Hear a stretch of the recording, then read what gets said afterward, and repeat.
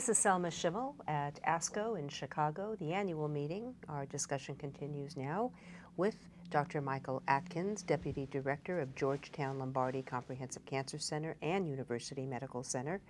Welcome. It's a pleasure to be here. Melanoma is a important topic, and you're going to join us now to talk about new options, name of your talk, new questions, how to select and sequence therapies for metastatic melanoma. And even the title of that needs explanation for our viewers. After uh, um, a, a pretty lengthy time of a lot of investigation that didn't lead us anywhere, over the last few years, there are two distinct approaches that are really starting to bear fruit in the treatment of patients with advanced melanoma.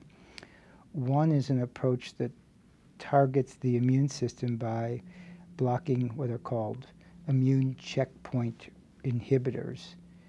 Um, uh, and um, that's allowing the immune system to actually be reactivated and eliminate tumor cells that it can recognize. And one drug that was um, presented at a plenary session at ASCO in 2010 and again in a separate trial at ASCO in 2011 um, is ipilimumab that has shown for the first time that you can improve overall survival in patients with advanced melanoma, in first in patients who had received prior therapy, and then last year in combination with dacarbazine in patients who had been treatment naive. That drug was approved by the Food and Drug Administration in the spring of 2011. And um, at the same time, we've identified abnormalities in the molecular makeup of melanoma that drive certain subsets of melanomas to, to actually grow.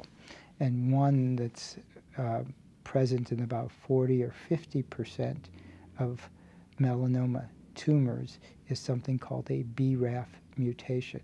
And there have been selective drugs that have been developed to block that mutation, that mutated protein, um, and the its action in melanoma cells. And last year, the first of those drugs results with a, a, phase three trial comparing it to conventional therapy showed dramatic results, leading to that drug, vemurafenib or Zelboraf, as its trade name is, being approved by the FDA in the summer of 2011.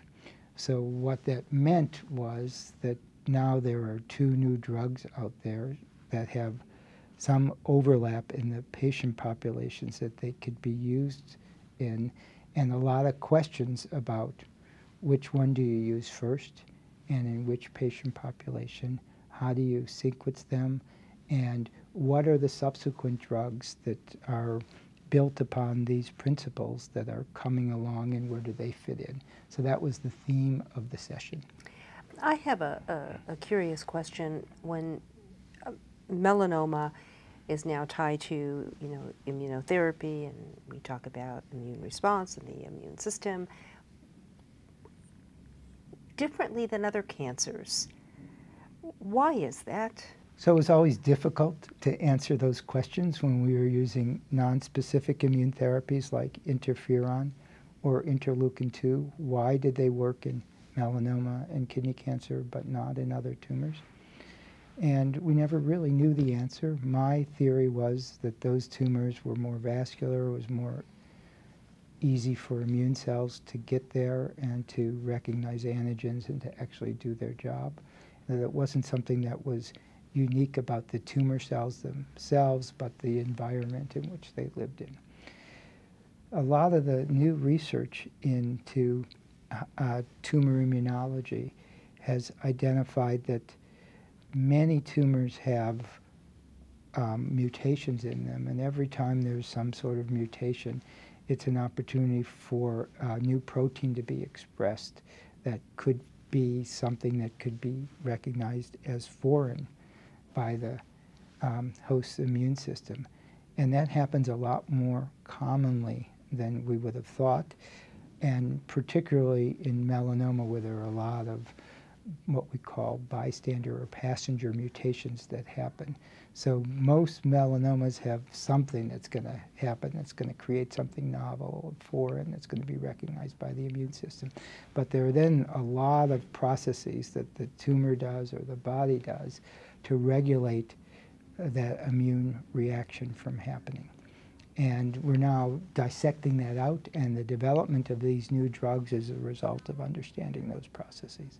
The remnants of the chemotherapies, the cytotoxic agents that were used until we were able to move into the world of immunotherapy, where do you see the future of chemotherapy?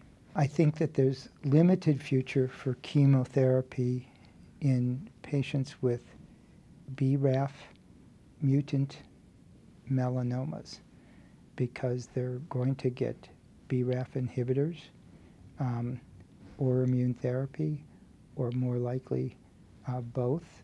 And BRAF is inhibitors are going to be the backbone for which other treatments are added on, and those are unlikely to be chemotherapies.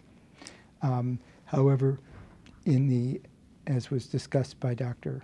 Jeff Sosman at that same session, um, in the BRAF wild type tumors, which make up 40 to 60 percent of the melanoma population, is a mixed bag, and most of those we don't know what is actually driving those tumors, and even in the ones we do know, we don't really have a good idea of how to target that mutation. And so there's still a role for either immune therapy, and if immune therapy doesn't work, and immune therapy, although it's an advance, works in a minority of patients in a major way, it leaves a lot of patients who might need some other type of therapy, and right now that is more likely to be chemotherapy than something else because we don't know what to give from a personalized, targeted standpoint talk to us just for a few minutes about what this has been like for you as a clinician to be living through such dynamic changes in um, clinical options for melanoma patients. I had the um, uh, pleasure of being the discussant for the all the high quality BRAF inhibitor um, studies that were presented today at the melanoma oral session.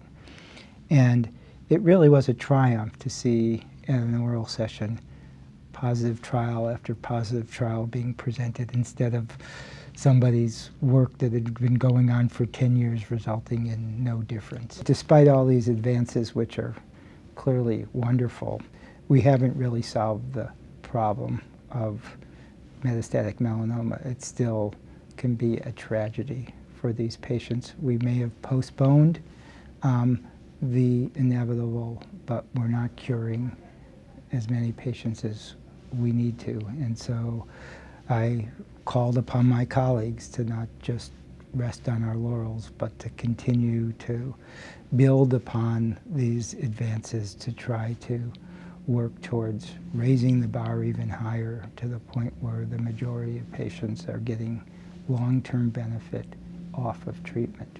Thank you, Dr. Michael Atkins, Deputy Director, Georgetown Lombardi Comprehensive Cancer Center and University Medical Center, Washington, District of Columbia.